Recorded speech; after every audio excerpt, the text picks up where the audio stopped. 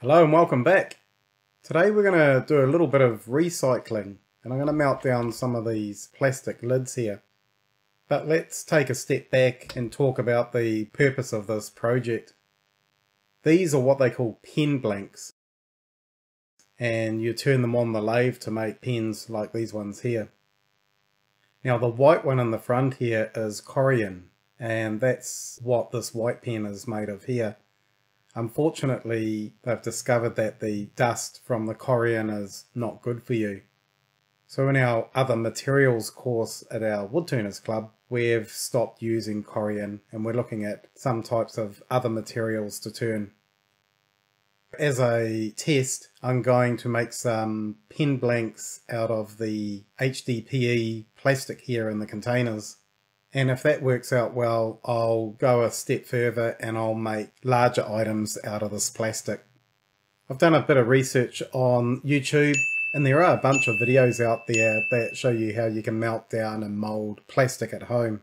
However, one of the issues is that you can get air bubbles or voids in the plastic and that can ruin the item that you're trying to turn.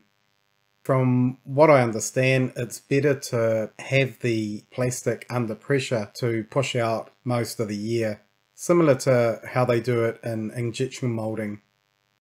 So I'm going to make a mold out of steel and it's quite simple. It just has a main body with a diameter of 22 millimeters in the middle and then you have this plug that goes into that hole and that gets all squashed up in the vise to apply pressure. Now on YouTube I've seen a few different variations of this, mainly made out of wood and they clamp it together and that seems to provide the best results with the least amount of air bubbles and voids in your blank that you're trying to make. I'm going to start with turning up the mold and then I'll talk about how I'm going to melt the plastic a little bit later on.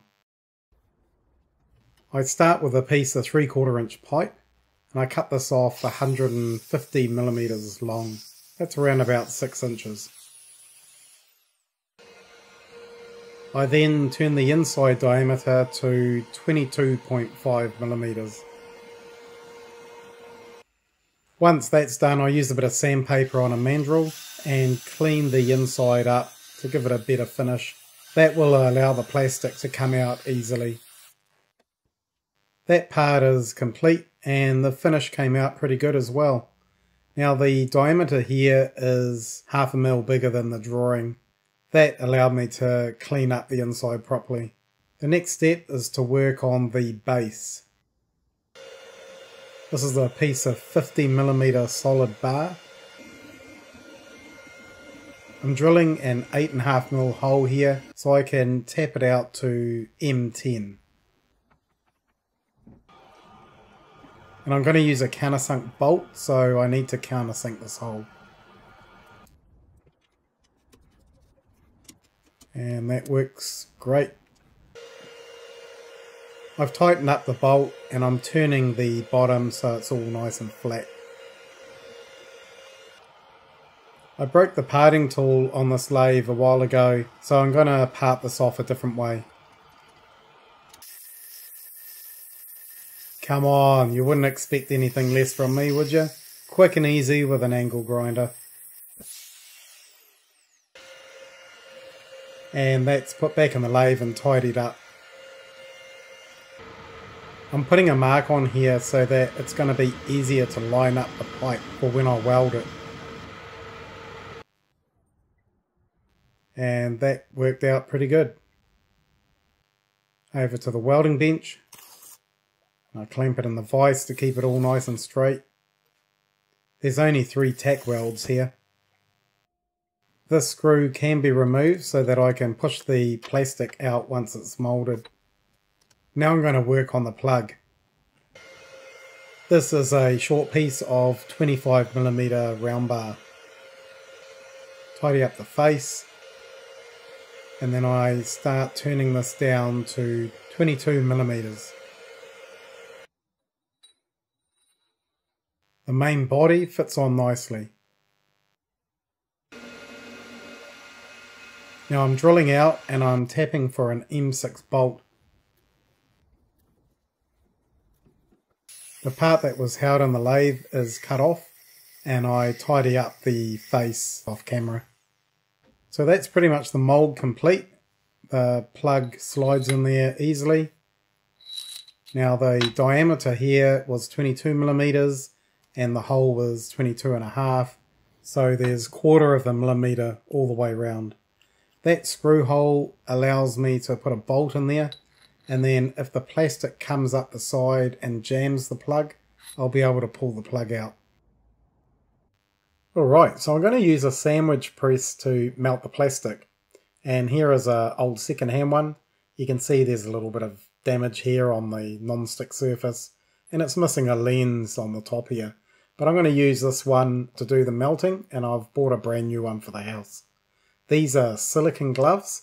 Unfortunately, there's no fingers, but the silicon gloves are really good as the plastic does not stick to them. Alright, let's get started. Here's a bit of baking paper so that the plastic doesn't stick to the machine. I do have some Teflon sheets on order, but they haven't arrived yet, so baking paper seemed to work fine.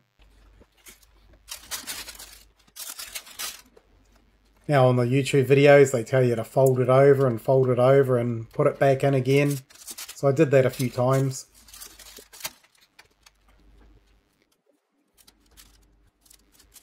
Now I melt down some red bottle tops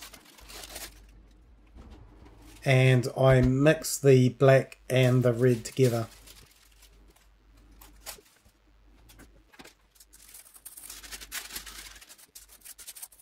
So I kind of mix this maybe a little bit too much. As you'll see later, the end result was almost completely black.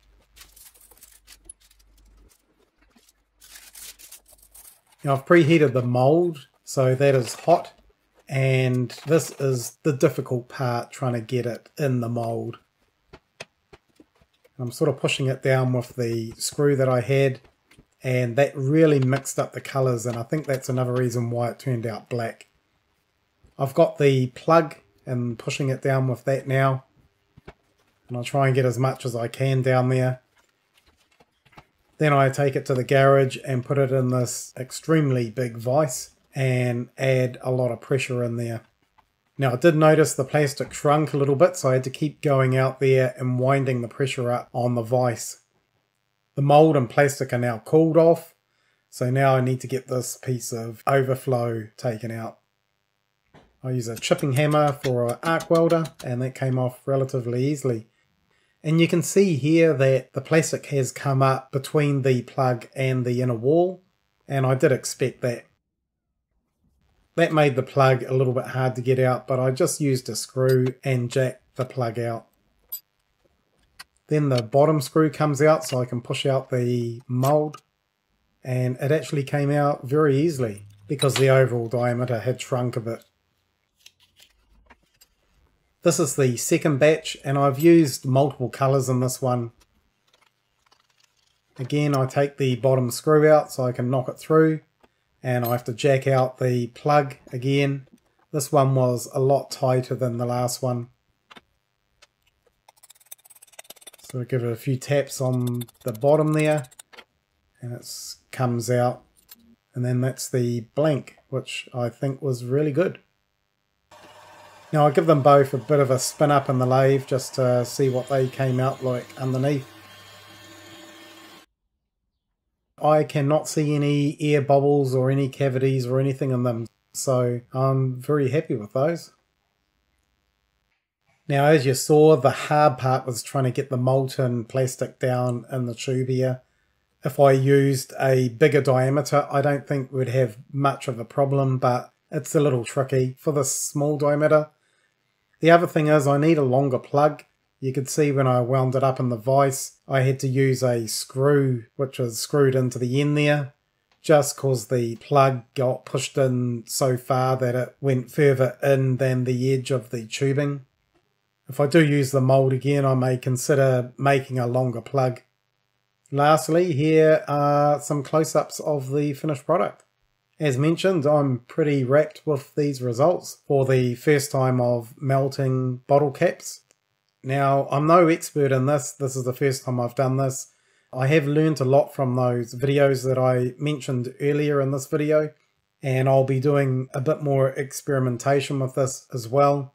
But I hope some of you guys learned something I mean, this is good if you want some plastic to turn up in the lathe and you don't have any, you can melt some down and make up your own blanks. I hope everyone has a great day and once again, thanks for watching.